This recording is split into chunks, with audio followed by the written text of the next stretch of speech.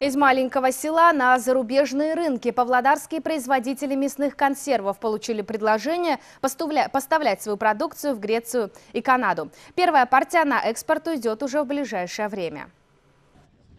Знаменитая казахская порода джабе. Эти лошади круглый год находятся на пастбищном содержании. Они терпеливы и крайне выносливы. Выращивать их очень выгодно, говорят коневоды.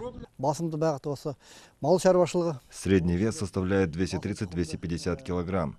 Мы также выращиваем племенных казахских куличных овец и ангорских коз. Это хозяйство продает мясо, шерсть и молочные продукты. Но главное направление – консервирование. В сутки здесь могут выпускать 2 тонны разнообразной продукции. Мы производим а, консервы, мясо-растительные консервы из говядины, из конины, из баранины. А, Также мы э, производим каши с добавлением крупы, а, с перловки, с гречки и с рисом.